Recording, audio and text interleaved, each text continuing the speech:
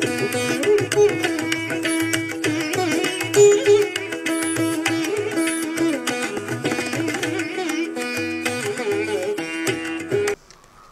T ವಿಯ ಸಮಸ್ತ ವೀಕ್ಷಕರಿಗೆ ಮಂಕುತಿಮ್ಮನ ಕಗ್ಗದ ಈ ವೈಚಾರಿಕ ಲೋಕಕ್ಕೆ ಆತ್ಮೀಯವಾದ ಸ್ವಾಗತ.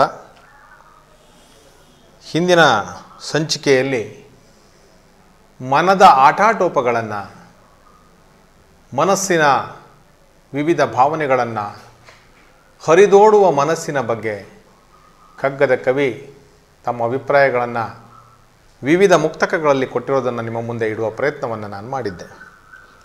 ಅದರ ಮುಂದುವರಿದ ಭಾಗವನ್ನು ಇವತ್ತು ನಿಮ್ಮ ಮುಂದೆ ನಾನು ಇಡ್ತಾ ಇದ್ದೇನೆ.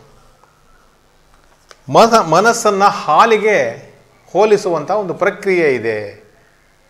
ವ್ಯಕ್ತಿಯೊಬ್ಬ ಒಳ್ಳೆಯವನು ಅಂತ ಹೇಳೋದನ್ನು ಹಾಲಿನಂತಹ ಮನಸ್ಸು, ಪರಿಶುದ್ಧವಾದ ಮನಸ್ಸು ಅನ್ನುವ ಒಂದು ರೂಪಕದ ಮುಖಾಂತರ ಆ ವ್ಯಕ್ತಿಯನ್ನು ಅಳೆಯುವ, ಅವನ ಮನಸ್ಸನ್ನು ತಿಳಿಯುವ ಪ್ರಯತ್ನವನ್ನು ಮಾಡಲಾಗತ್ತೆ. ಆ ಹಿನ್ನೆಲೆಯಲ್ಲಿ ಮನಸ್ಸನ್ನು ಹಾಲಿಗೆ ಹೋಲಿಸಿ ಕಗ್ಗದ ಕವಿ ನಮ್ಮ ಮುಂದೆ ಇಲ್ಲಿ ಇಟ್ಟಿರೋದನ್ನು ನಾವು ನೋಡ್ಬೋದು.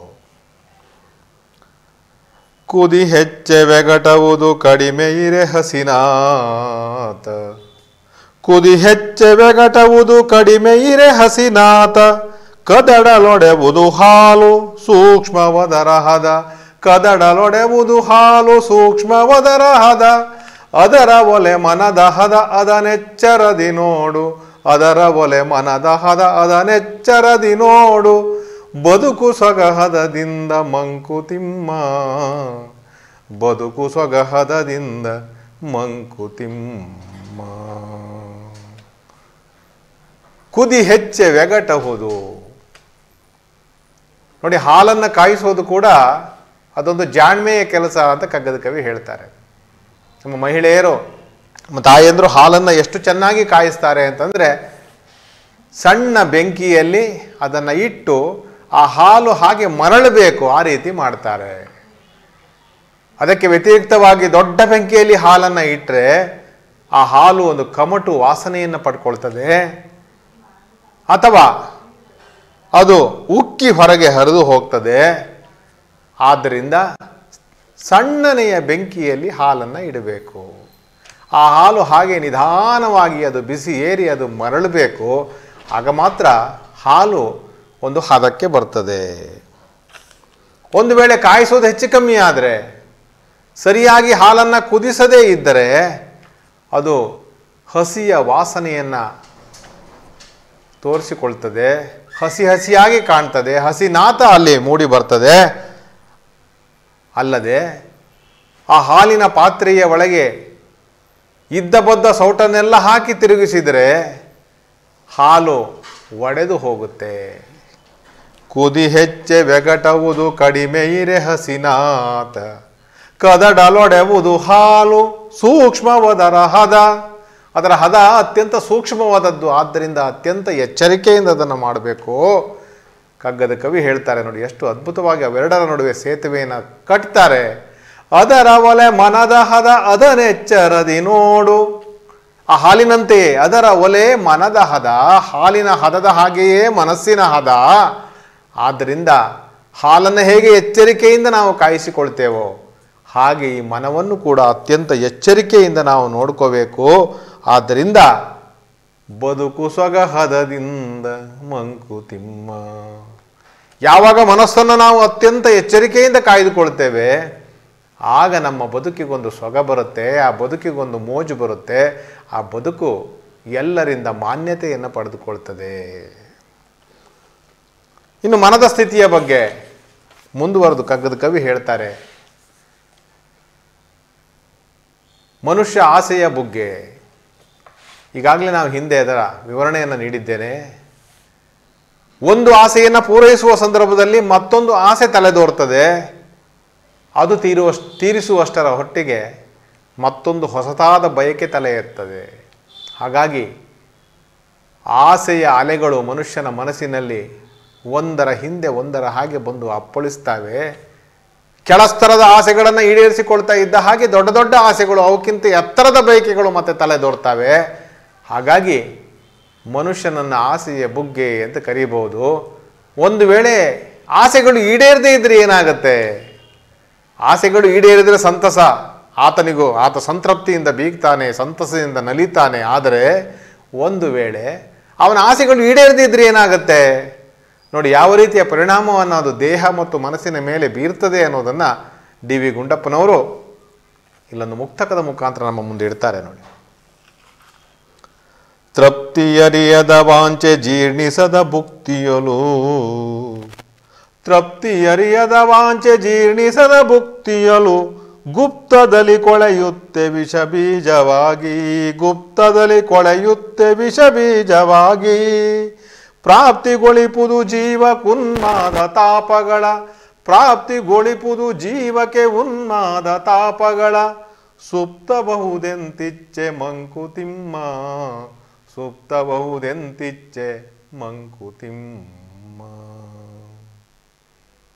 ತೃಪ್ತಿ ಅರಿಯದ ವಾಂಚೆ ಜೀರ್ಣಿಸದ ಭುಕ್ತಿಯಲು. ತೃಪ್ತಿಯನ್ನು ಕಾಣದಂತಹ ಬಯಕೆಗಳು. ಅದು ಯಾವ ರೀತಿ ಅಂತಂದ್ರೆ ಜೀರ್ಣ ಆಗದೇ ಇರುವ ಆಹಾರದ ಹಾಗೆ. ಜೀರ್ಣ ಆಗದೇ ಇರುವಂಥ ಆಹಾರ ಏನು ಮಾಡುತ್ತೆ? ನಮಗೆಲ್ರಿಗೂ ಗೊತ್ತಿದೆ, ಅದು ಅಜೀರ್ಣವನ್ನು ಉಂಟು ಮಾಡುತ್ತೆ. ಹೊಟ್ಟೆಯ ಉದರದ ಬೇನೆಯನ್ನು ಉಂಟು ಮಾಡ್ತದೆ, ಹೊಟ್ಟೆ ಕಡಿಯೋದಕ್ಕೆ ಪ್ರಾರಂಭ ಆಗುತ್ತೆ. ನಾನಾ ರೀತಿಯಲ್ಲಿ ಅದು ಸಮಸ್ಯೆಯನ್ನು ತಂದೊಡ್ತದೆ. ತೃಪ್ತಿಯರಿಯದ ವಾಂಚೆ ದೀರ್ಣಿಸದ ಭುಕ್ತಿಯಲು ಗುಪ್ತದಲ್ಲಿ ಕೊಳೆಯುತ್ತೆ ವಿಷ ಬೀಜವಾಗಿ. ಜೀರ್ಣ ಆಗದೇ ಇರುವಂಥ ಆಹಾರ ಅದು ವಿಷವಾಗಿ ಪರಿವರ್ತನೆ ಆಗುತ್ತೆ, ಅದು ಗ್ಯಾಂಗ್ರೀನ್ ಆಗುತ್ತೆ. ಮನಸ್ಸಿನಲ್ಲಿ ಹೊಟ್ಟೆಯ ಒಳಗಡೆ ಅದು ವೇದನೆಯನ್ನು ಕೊಡೋದಕ್ಕೆ ಪ್ರಾರಂಭ ಮಾಡುತ್ತೆ. ಅದು ದೇಹದ ಮೇಲೆ ಮಾತ್ರ ಅಲ್ಲ, ಮನಸ್ಸಿನ ಮೇಲೂ ಪರಿಣಾಮವನ್ನು ಬೀರ್ತದೆ. ಪ್ರಾಪ್ತಿಗೊಳಿಪುದು ಜೀವಕ್ಕೆ ಉನ್ಮಾದ ತಾಪಗಳ. ಆ ಜೀರ್ಣ ಆಗದೇ ಇರುವಂತಹ ಅಜೀರ್ಣತೆಯ ಒಂದು ಏನು ವಿಷಯ ಇದೆ. ಅದು ದೇಹಕ್ಕೆ ತಾಪವನ್ನು ಒದಗಿಸ್ತದೆ. ಕೂತ್ಕೊಳ್ಳೋಕ್ಕಾಗೋದಿಲ್ಲ, ನಿಂತ್ಕೊಳ್ಳೋಕ್ಕಾಗೋದಿಲ್ಲ, ಹೊಟ್ಟೆಯಲ್ಲಿ ಏನೋ ಒಂದು ರೀತಿಯ ಬೇನೆ. ಆದ್ದರಿಂದ ಸುಪ್ತಬಹುದೆಂತಿಚ್ಚೆ ಮಂಕುತಿಮ್ಮ ಆದ್ದರಿಂದ ತೃಪ್ತಿ ಅರಿಯದ ಬಯಕೆಗಳು ಹೇಗೆ ಮನದಲ್ಲಿ ಅದು ವಿಷವಾಗಿ, ಮುಳ್ಳಾಗಿ ಕಾಡುತ್ತದೆ ಎನ್ನುವುದನ್ನು ಹೇಳ್ತಾರೆ. ಸುಭಾಷಿತ ಒಂದು ಹೇಳುತ್ತೆ, ಅನಾದ್ಯಂತ ತುಸಾತೃಷ್ಣ ಅಂತರ್ದೇಹ ಗತಾನೃಣ ವಿನಾಶಯತಿ ಭೂತಾನಿ ಅಯೋ ನಿಜ ಇವಾನಿಲ. ಅಂದರೆ ಮನುಷ್ಯನ ಒಳಗಿನ ಆಸೆ ಕೊನೆ ಮೊದಲಿಲ್ಲದ ಬೆಂಕಿಯ ಹಾಗೆ. ಮನುಷ್ಯನ ಒಳಗಿರುವಂಥ ಆಸೆ ಇದೆಯಲ್ಲ ಅದು? ಕೊನೆ ಮೊದಲಿಲ್ಲದ ಬೆಂಕಿಯ ಹಾಗೆ ಅದು ಎಲ್ಲವನ್ನು ನಾಶ ಮಾಡಿಬಿಡ್ತದೆ. ಯಾಕಂದರೆ ಬೆಂಕಿಯ ಒಂದು ಕಿಡಿ ಇದ್ದರೆ ಸಾಕು, ಆ ಕಿಡಿ ನಿಧಾನಕ್ಕೆ ಉಲ್ಬಣಗೊಳ್ಳುತ್ತೆ. ಆ ಉಲ್ಬಣಗೊಂಡಂಥ ಬೆಂಕಿ ಹೇಗೆ ಕಾಡ್ಗಿಚ್ಚು, ಇಡೀ ಕಾಡನ್ನು ವ್ಯಾಪಿಸಿ ಸುಟ್ಟು ಹಾಕ್ತದೋ ಹಾಗೆ ಅದು ಇಡೀ ದೇಹವನ್ನು ವ್ಯಾಪಿಸಿ ಆತನನ್ನು ನಾಶಗೊಳಿಸ್ತದೆ. ಆದ್ದರಿಂದ ಎಚ್ಚರಿಕೆಯಿಂದಿರಬೇಕು ಪಂಪನ ಆದಿಪುರಾಣದಲ್ಲಿ ಒಂದು ಪ್ರಸಂಗ ಬರ್ತದೆ. ತೀರ್ಥಂಕರನಾಗುವಂತಹ ಒಂದು ಜೀವ ಒಂದು ಆಸೆಗೆ ಬಿದ್ದು ಅಥವಾ ಆಸೆಯನ್ನು ಈಡೇರಿಸಿಕೊಳ್ಳಕ್ಕೆ ಆಗದೆ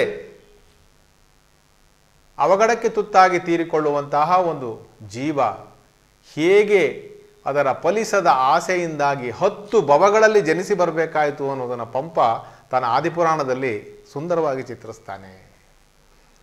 ಅಲ್ಲೊಂದು ಕಡೆ ಹೇಳ್ತಾನ ಆತ, ಗಂದಿಲ ದೇಶದ ರಾಜ ಶ್ರೀಶೇಣ ಅಂತ ಇರ್ತಾನೆ ಅವನಿಗೆ ಇಬ್ಬರು ಮಕ್ಕಳು ಜಯವರ್ಮ ಮತ್ತು ಶ್ರೀವರ್ಮ ಅನ್ನುವಂಥ ಇಬ್ಬರು ಮಕ್ಕಳು. ಆದರೆ ಅವರಲ್ಲಿ ಹಿರಿಯವ ಜಯವರ್ಮ. ಆತನಿಗೆ ಪಾರಂಪರಿಕವಾಗಿ ಆತನಿಗೆ ಅಧಿಕಾರವನ್ನು ಕೊಡಬೇಕಾಗಿತ್ತು ಅಪ್ಪ. ಆದರೆ ಅದೇನು ಕಿರಿಯ ಮಗನ ಮೇಲಿನ ವ್ಯಾಮೋಹವೋ ಪ್ರೀತಿಯೋ ಗೊತ್ತಿಲ್ಲ. ಕಿರಿಯ ಮಗ ಶ್ರೀಶರ್ಮನಿಗೆ ಪಟ್ಟವನ್ನು ಕಟ್ತಾನೆ. ಇದರಿಂದ ನೊಂದಂತಹ ಜಯವರ್ಮ ರಾಜ್ಯ ಪದವಿ ಸಿಗಲಿಲ್ಲ, ಹಾಗಾಗಿ ಈ ಸಂಸಾರದ ಸುಖವೇ ನನಗೆ ಬೇಡ. ಅಥವಾ ಏನು ಏನು, ಅರಮನೆಯಲ್ಲಿ ನಾನು ಇರಲಾರೆ ಅಂತ ತೀರ್ಮಾನವನ್ನು ತೆಗೆದುಕೊಂಡು ಆತ ಜೈನ ದೀಕ್ಷೆಯನ್ನು ತೆಗೆದುಕೊಳ್ಳುವುದಕ್ಕೆ ಋಷಿಗಳ ಹತ್ರ ಹೋಗ್ತಾನೆ, ಮುನಿಗಳ ಹತ್ರ ಹೋಗ್ತಾನೆ. ಅಲ್ಲಿ ಜೈನ ದೀಕ್ಷೆಯನ್ನು ಪಡ್ಕೊಳ್ತಾನೆ ಕೂಡ. ಪಡೆದುಕೊಂಡ ಬಳಿಕ ಆತನ ಕೇಶಮುಂಡನವನ್ನು ಮಾಡಿ ಆ ತೆಗೆದಿರುವಂತಹ ಎಲ್ಲ ಕೇಶವನ್ನು ಆ ಗುರುಗಳು ಹೇಳ್ತಾರೆ, ಇದನ್ನು ಒಂದು ಹುತ್ತದ ಒಳಗೆ ಹಾಕಿ ಬಾ ಅದನ್ನು ತೆಗೆದುಕೊಂಡು ಹುತ್ತದ ಒಳಗೆ ಹಾಕೋದಕ್ಕೆ ಹೋಗ್ತಾನೆ ಜಯವರ್ಮ. ಅಲ್ಲಿ ಹೀಗೆ ನೋಡ್ತಾ ಇರುವಾಗ ಆತನಿಗೆ ಏನು ಸದ್ದು ಕೇಳತ್ತೆ. ನಲ್ಲ ನಲ್ಲೆಯರ ಒಂದು ಅವರ ಏನು ಸರಸ ಸಲ್ಲಾಪದ ಧ್ವನಿ ಕೇಳತ್ತೆ. ತಿರುಗಿ ಮೇಲೆ ನೋಡ್ತಾನೆ.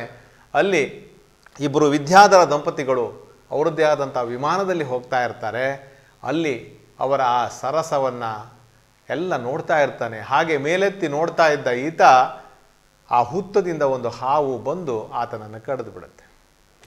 ಆತ ಅಂಗಾತ ಬೀಳ್ತಾನೆ. ಅತ್ಯಂತ ವಿಷಯುಕ್ತವಾದಂತಹ ಘಟಸರ್ಪ ಕಚ್ಚಿರೋದು ಅವನಿಗೆ. ಅವನಿಗೆ ಗೊತ್ತಾಯಿತು, ತನ್ನ ಅಂತ್ಯಕಾಲ ಬಂತು ಅಂತ.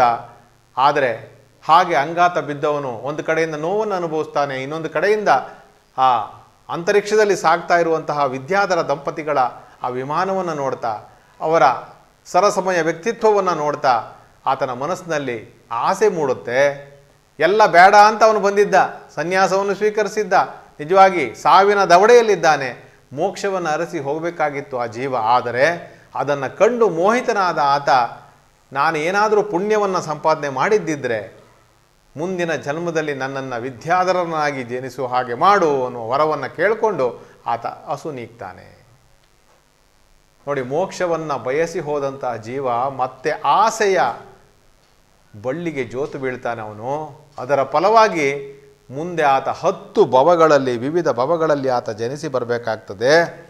ಇದು ಆಸೆಯ ಫಲ, ತೀರದ ಆಸೆಯ ಫಲ. ಮಹಾಭಾರತದ ಧೃತರಾಷ್ಟ್ರನ ವ್ಯಕ್ತಿತ್ವವನ್ನು ನೋಡಿದರೂ ಕೂಡ ನಮಗೆ ಅದೇ ಕಾಣ್ತದೆ. ಸತ್ಯವತಿಯ ಮಗನಾದಂತಹ ವಿಚಿತ್ರ ವೀರ್ಯನಿಗೆ ಆತನ ಮಗನಾಗಿ ನಿಯೋಗ ಪದ್ಧತಿಯಲ್ಲಿ ವ್ಯಾಸರಿಂದ ಹುಟ್ಟಿದ ಮಗ ಧೃತರಾಷ್ಟ್ರ. ನಿಜವಾಗಿ ಹಿರಿಯ ಮಗನಾಗಿ ಅವನು ಹಸ್ತಿನಾಪುರದ ಸಿಂಹಾಸನಕ್ಕೆ ಬಾಧ್ಯಸ್ಥನಾಗಿರಬೇಕಾಗಿತ್ತು, ಅಧಿಕಾರಿಯಾಗಬೇಕಾಗಿತ್ತು. ಆದರೆ ಬಾಲ್ಯದಿಂದಲೇ ಅವನಿಗೆ ಅಂಟಿರುವಂತಹ ಒಂದು ಅಂಗವೈಕಲ್ಯ ಆತ ಹುಟ್ಟುಕುರುಡನಾಗಿ ಹುಟ್ಟಿದ್ದ. ಅದರ ಫಲವಾಗಿ ಆತ ರಾಜ್ಯದ ಅಧಿಕಾರದಿಂದ ವಂಚಿತನಾಗ್ತಾನೆ. ಅಧಿಕಾರ ತಪ್ಪಿ ಹೋಯಿತು. ಆತನಿಗೆ ರಾಜ್ಯವನ್ನು ಆಳಬೇಕು ಅನ್ನುವಂತಹ ಅದಮ್ಯವಾದಂಥ ಆಸೆ ಇತ್ತು. ಆದರೆ ಅಂಗವೈಕಲ್ಯದ ಕಾರಣದಿಂದಾಗಿ ಆತ ಹುಟ್ಟು ಕುರುಡನಾದ ಕಾರಣದಿಂದಾಗಿ ರಾಜ್ಯ ತಪ್ಪಿ ಹೋಯಿತು. ಒಳಗೊಳಗೆ ಕುದಿತಾ ಇದ್ದ ಆತ. ತಮ್ಮನಾದ ಪಾಂಡುವನ್ನು ಚಕ್ರವರ್ತಿ ಮಾಡಿದ್ರು. ಪಾಂಡು ಚಕ್ರವರ್ತಿಯಾಗಿ ಆತ ರಾಜ್ಯವನ್ನು ಆಳ್ತಾನೆ. ಅವನಿಗೆ ಆ ಆಸೆ ಒಳಗಡೆ ಹಾಗೆ ಕುದೀತಾ ಕುದೀತಾ ಇತ್ತು. ಆತನಿಗೆ ನೂರು ಮಕ್ಕಳು ಹುಡ್ತಾರೆ ಕೌರವರು ಆ ಬಾಲ್ಯದಲ್ಲಿ ತನ್ನದ್ದ, ತನ್ನ ಆಸೆ ಈಡೇರದೇ ಇದ್ದುದರಿಂದ ತನ್ನ ಮಕ್ಕಳಲ್ಲಿ ಅದನ್ನು ಕಾಣೋದಕ್ಕೆ ಆತ ಪ್ರಯತ್ನ ಮಾಡ್ತಾನೆ. ಆ ಮಾತ್ಸರ್ಯದ ಬೀಜ ರೂಪಗಳಾಗಿ ಆ ಮಕ್ಕಳು ಬರ್ತಾವೆ. ಆ ಮಕ್ಕಳನ್ನು ಕೂಡ ಅದೇ ಬೆಂಕಿಯಲ್ಲಿ ಆತ ಬೆಳೆಸ್ತಾನೆ. ಮುಂದೆ ಆ ನೂರೂ ಮಕ್ಕಳು ಕೂಡ ಯುದ್ಧದಲ್ಲಿ ಸಾವನ್ನಪ್ತಾರೆ. ಧೃತರಾಷ್ಟ್ರನ ಒಳಗಿನ ಈಡೇರದ ಬಯಕೆಗಳಿದೆಯಲ್ಲ ಅದು ಆತ ತನ್ನ ಮಕ್ಕಳನ್ನು ಆ ರೀತಿ ಬೆಳೆಸುವ ಹಾಗೆ ಪ್ರೇರೇಪಣೆ ಕೊಡ್ತದೆ. ಹೀಗೆ ತೃಪ್ತಿಯರಿಯದ ವಾಂಛೆ. ಜೀರ್ಣಿಸದ ಆಹಾರ ಇದ್ದ ಹಾಗೆ ಅದು ವಿಷವಾಗಿ ಆತನನ್ನು ಕಾಡ್ತದೆ ಅನ್ನೋದನ್ನು ಕಗ್ಗದ ಕವಿಯಲ್ಲಿ ಸುಂದರವಾಗಿ ನಮ್ಮ ಮುಂದೆ ಇಡ್ತಾರೆ. ಹುಲಿಯ ಕೆಣಕೂದು ಹುಲಿ ಕಪಿಯ ನಣಕಿಪುದು ಕಪಿ. ಹುಲಿಯ ಕೆಣಕೂದು ಹುಲಿ ಕಪಿಯ ನಣಕಿಪುದು ಕಪಿ. ಹುಲಿ ಕಪಿಗಳ ವಿತಿರದ ನರಜಂತುವೆಲ್ಲಿ ಹುಲಿ ಕಪಿಗಳ ವಿತಿರದ ನರಜಂತುವೆಲ್ಲಿ ಮಲಗಿರುವ ಮೃಗವನಂತಿರಲು ಬಿಡುವುದೇ ಜಾಣು. ಮಲಗಿರುವ ಮೃಗವನಂತಿರಲು ಬಿಡುವುದೇ ಜಾಣು. ಕುಲುಕದಿರು ಬಾಲವನು ಮಂಕುತಿಮ್ಮ ಕುಲುಕದಿರು ಬಾಲವನು ಮಂಕುತಿಮ್ಮ ಹುಲಿಯ ಕೆಣಕುವುದು ಹುಲಿ. ಪ್ರಕೃತಿಯಲ್ಲೇ ಒಂದು ಕೆಣಕುವಂಥ ಬುದ್ಧಿ ಇದೆ, ನಾವು ನೋಡ್ತೇವೆ. ಕಾಡಿನಲ್ಲಿ ಒಂದು ಹುಲಿಯನ್ನು ಮತ್ತೊಂದು ಹುಲಿ ಕೆಣಕ್ತದೆ. ಮತ್ತೊಂದು ಹುಲಿಯ ಜೊತೆಗೆ ಹೋರಾಟಕ್ಕಿಳಿತದೆ ಪೊರ್ಚುತ್ತದೆ ಅದೇ ರೀತಿ ಒಂದು ಕಪಿ ಮತ್ತೊಂದು ಕಪಿಯನ್ನು ಅಣಕಿಸ್ತದೆ, ಅದರ ಜೊತೆಗೆ ಹೋರಾಟಕ್ಕಿಳಿತದೆ ಅದನ್ನು ಕೆರಳಿಸ್ತದೆ.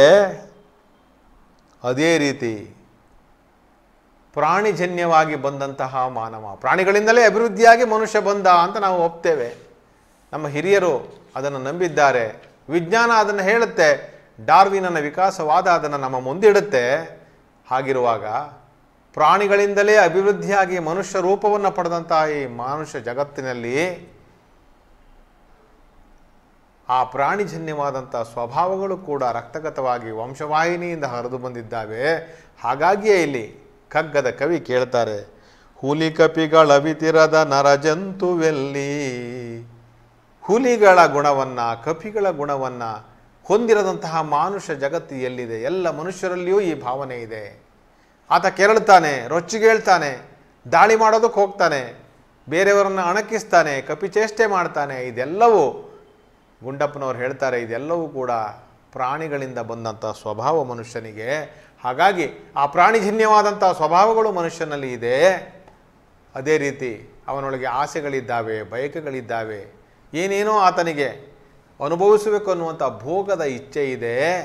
ಇವೆಲ್ಲವನ್ನ ಒಂದು ಮಿತಿಯ ಒಳಗಡೆ ಇಟ್ಟುಕೊಂಡ್ರೆ ಆತ ಸಹನೀಯವಾದ ಬದುಕನ್ನು ನಡೆಸ್ತಾನೆ. ಅದು ಮಿತಿ ಮೀರಿದರೆ ಪುನಃ ಅವನು ಏನಾಗುತ್ತೆ ಅಂತಂದರೆ ಮೃಗೀಯವಾದ ಜೀವನವನ್ನು ನಡೆಸಬೇಕಾಗ್ತದೆ. ಆದ್ದರಿಂದ ಅಂತಹ ಗುಣಗಳು ಭೋಗದ ಹಿಂದೆ ಬೀಳುವಂತಹ ಪಂಚೇಂದ್ರಿಯಗಳ ಆಸೆಗೆ ಬಲಿಯಾಗುವ ಆ ಗುಣಗಳೇನಿದ್ದಾವೆ? ಅವುಗಳನ್ನು ಹೆಚ್ಚು ಕೆರಳಿಸಬಾರದು ಅನ್ನುವ ಸಂದೇಶವನ್ನು ಕೊಡ್ತಾರೆ. ಮಲಗಿರುವ ಮೃಗವನಂತಿರಲು ಬಿಡುವುದೇ ಜಾಣು. ಏನು ಮೃಗೀಯ ಭಾವನೆಗಳಿದ್ದಾವೆ?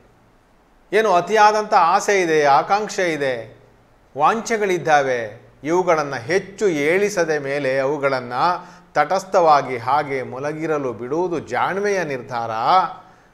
ಮಲಗಿರುವ ಮೃಗವನಂತಿರಲು ಬಿಡುವುದೇ ಜಾಣು. ಕುಲುಕದಿರು ಬಾಲವನು ಮಂಕುತಿಮ್ಮ. ಅಂತಹ ಆಸೆಗಳನ್ನು ನಮ್ಮ ಅಧಪತನದ ಕಡೆಗೆ ಸಾಗಿಸುವಂತಹ ನಮ್ಮ ಅಂತಹ ಆಸೆಗಳನ್ನು ಅವುಗಳನ್ನು ಹೆಚ್ಚಾಗಿ ಕೆರಳಿಸದೆ, ಅವುಗಳನ್ನು ಕೆಣಕದೆ, ಅವುಗಳ ಪಾಡಿಗೆ ಅವು ಇರುವ ಹಾಗೆ, ಸ್ತಬ್ಧಗೊಳ್ಳುವ ಹಾಗೆ ನಡ್ಕೊಳ್ಳೋದಿದೆಯಲ್ಲ, ಇದು ಮಾನುಷ ಬದುಕಿಗೆ ಅವಶ್ಯಕವಾದಂಥ ವಿಚಾರ. ಆದ್ದರಿಂದ ಆಸೆಯನ್ನು ನಿಯಂತ್ರಿಸಬೇಕು, ಇತಿಮಿತಿಯ ಒಳಗೆ ಇಟ್ಕೋಬೇಕು ಮನುಷ್ಯ ಅನ್ನುವಂಥ ಮಾತನ್ನು ಹೇಳ್ತಾರೆ. ಇನ್ನು ಆಸೆಯೇ ಇಲ್ಲದೆ ಇರೋದಕ್ಕೆ ಸಾಧ್ಯವೇ? ಸಾಧ್ಯ ಇಲ್ಲ. ಅದಕ್ಕೆ ಒಂದು ವ್ಯಂಗ್ಯದ ನುಡಿಯನ್ನು ಕಗ್ಗದ ಕವಿ ಇಲ್ಲಿ ಆಡ್ತಾರೆ ಅತಿಶಯದ ಅದೃಷ್ಟ ಹುಟ್ಟಿಮ್ರತೇಂದ್ರಿಯ ನದಲ ಅತಿಶಯದ ಅದೃಷ್ಟ ಹುಟ್ಟಿಮ್ರತೇಂದ್ರಿಯ ನದಲ ಇತರರಳು ವಿಷ ಪರೀಕ್ಷೆಗೆ ನಿಲ್ಲುವರಾರು. ಮಿತ ಕುಕ್ಷಿ ಮಿತ ಭುಕ್ತ ಮತ್ತಾರ್ಜಿತೇಂದ್ರಿಯನು. ಮಿತ ಕುಕ್ಷಿ ಮಿತ ಭುಕ್ತಿ ಮುತ, ಮಿತ ಕುಕ್ಷಿ ಮಿತ ಭುಕ್ತ ಮತ್ತಾರ್ಜಿತೇಂದ್ರಿಯನು. ಅತಿ ಚರ್ಚೆ ಸಲದಲ್ಲಿ ಮಂಕುತಿಮ್ಮ ಅತಿ ಚರ್ಚೆ ಸಲದಲ್ಲಿ ಮಂಕುತಿಮ್ಮ ಒಂದು ವೇಳೆ ಹುಟ್ಟಿನಿಂದಲೇ ಅವನಿಗೆ ಯಾವುದೇ ಬಯಕೆಗಳಿಲ್ಲದೆ ಅವನು ನಿರ್ಲಿಪ್ತನಾಗಿ ಬೆಳೆಯುವುದಾದರೆ, ನಿರ್ಲಿಪ್ತ ಭಾವದಿಂದ ಅವನು ಹೊರಹೊಮ್ಮಿ ಬರೋದಾದರೆ, ನಿಜವಾಗಿಯೂ ಅದು ಅತ್ಯಂತ ಅದೃಷ್ಟದ ವಿಚಾರ. ಯಾವುದೇ ನಿರೀಕ್ಷೆಗಳಿಲ್ಲದೆ ಮನುಷ್ಯನೊಬ್ಬ ಹುಟ್ಟಿ ಬರೋದಕ್ಕೆ ಸಾಧ್ಯವೇ? ಕಗ್ಗದ ಕವಿ ಹೇಳ್ತಾರೆ, ಹಾಗೊಂದು ವೇಳೆ ಅವನು ಹುಟ್ಟಿ ಬಂದರೆ ಅದು ಅತಿಶಯದ ಅದೃಷ್ಟ. ಎಲ್ಲೋ ಲಕ್ಷಕ್ಕೊಬ್ಬರಿಗೆ ಸಾಧ್ಯವೇನೋ? ವ್ಯಾಸ ಮಹರ್ಷಿಗಳ ಮಗನಾದಂಥ ಶುಕ ಮಹರ್ಷಿ ಹುಟ್ಟಿನಿಂದಲೇ ಅವನು ನಿರ್ಲಿಪ್ತನಾಗಿ, ಬ್ರಹ್ಮಜ್ಞಾನಿಯಾಗಿ ಹುಟ್ಟು ಬಂದಂತೆ. ಹಾಗಾಗಿ ಅವನಿಗೆ ಯಾವುದೇ ಆಸೆಗಳ ಬಯಕೆಗಳಿಲ್ಲ, ಆಸೆಗಳಿಲ್ಲ, ಆತಂಕಗಳಿಲ್ಲ. ಆತ ಮುಕ್ತವಾಗಿ ಸಂಚರಿಸಬಲ್ಲವನಾಗಿದ್ದ, ಮುಕ್ತವಾಗಿ ವ್ಯವಹರಿಸಬಲ್ಲವನಾಗಿದ್ದ ಅನ್ನೋದನ್ನು ನಾವು ಭಾಗವತದಲ್ಲಿ ನೋಡ್ತೇವೆ. ಅಂದರೆ ಅದು ಅತ್ಯಂತ ಕೆಲವೇ ಕೆಲವರಿಗೆ ಮಾತ್ರ ಸಾಧ್ಯವಾಗುವಂಥದ್ದು. ಇತರರೊಳ್ ವಿಷ ಪರೀಕ್ಷೆಗೆ ನಿಲ್ಲುವರಾರು ಇತರರನ್ನು ಹಾಗೆ ನೋಡೋದಕ್ಕೆ ನಾವು ಸಾಧ್ಯ ಇಲ್ಲ. ಹಾಗಿದ್ರೆ ಮಿತ ಕುಕ್ಷಿ ಮಿತ ಭುಕ್ತ ಮತ್ತಾರ್ಜಿತೇಂದ್ರಿಯನು. ಯಾರಿಗೊಬ್ಬ ಮಿತ ಮಿತಕುಕ್ಷಿ ಮಿತ ಕುಕ್ಷಿ ಅಂತಂದರೆ ಅವನಿಗೆ ಹೊಟ್ಟೆಯ ಹಸಿವು ಮಂದವಾಗಿದೆ.